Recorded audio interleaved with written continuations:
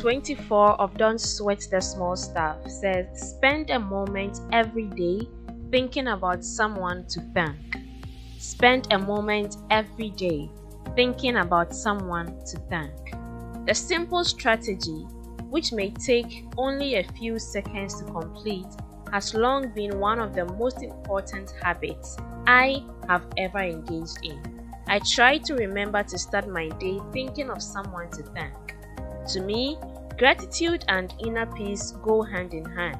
The more genuinely grateful I feel for the gift of life, the more peaceful I feel. Gratitude, then, is worthy of a little practice. If you are anything like me, you probably have many people in your life to feel grateful for.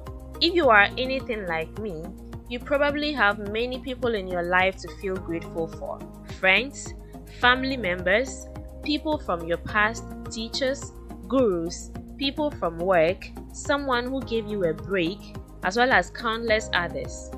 You may want to thank a higher power for the gift of life itself or for the beauty of nature.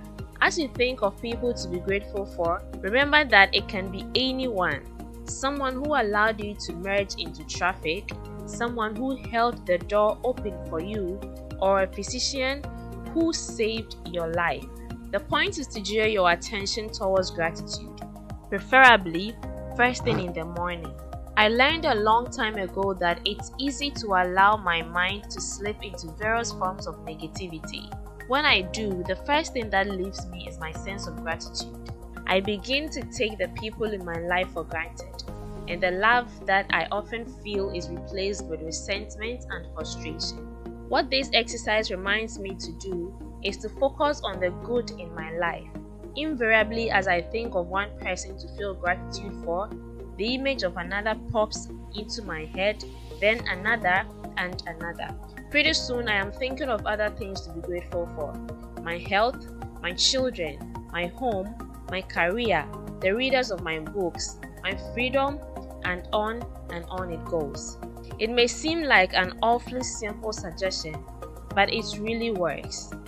If you wake up in the morning with gratitude on your mind, it's pretty difficult, in fact, almost impossible to feel anything but peace. I see the light inside you, brighter than the skies. Spend a moment every day thinking of someone to thank.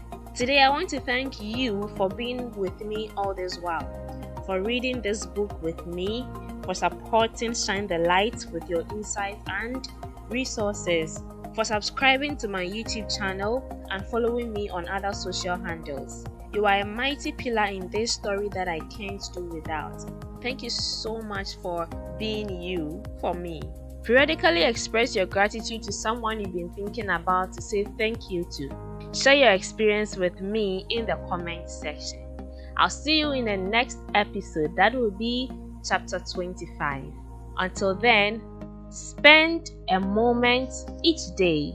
Spend a moment today thinking of someone to thank, and if possible, express your gratitude to them. Bye bye.